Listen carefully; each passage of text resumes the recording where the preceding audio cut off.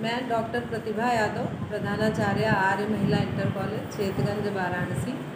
कल जब से ये सूचना मिली है कि छात्राओं का आज रिज़ल्ट आने वाला है, बड़ी ही मैं उत्साहित हूँ, आशान्वित हूँ कि बच्चों का रिज़ल्ट बहुत अच्छा आएगा, क्योंकि हम लोगों ने छात्राओं को उचित परिवेश देकर, उचित माहौल में शिक्षण की व्यवस्था किया है।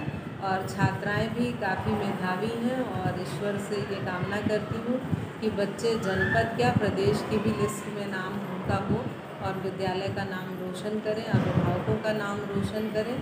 और प्रशासन की जो मंशा है कि समय से परीक्षा हुई और उसके बाद इतनी जल्दी रिज़ल्ट आ जाना, ये अपने आप में बहुत बड़ी चीज़ है माध्यमिक शिक्षा परिषद के लिए।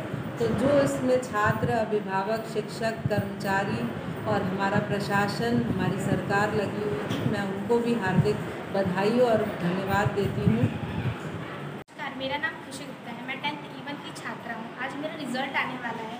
मैं बहुत खुश हूँ, उसके साथ साथ थोड़ी डरी भी हूँ, क्योंकि आज मेरा रिज़ल्ट कैसा आएगा। पर मुझे यकीन है कि मेरा रिज़ल्ट अच्छा ही होगा। मेरे अध्यापिकाओं मेरे प्रधानाचार्य, मेरे माता पिता सहयोग से मैं यहाँ आज तक पहुँची हूँ और मैं यही चाहती हूँ, मैं यही कामना करती हूँ कि मेरे साथ साथ मेरी और भी बहनें, मेरे और भी मित्र अच्छे नंबर से पास हो जाए। मेरा नाम रक्षा शर्मा मैं कक्षा दस द आज महिला इंटर कॉलेज की छात्रा हूँ।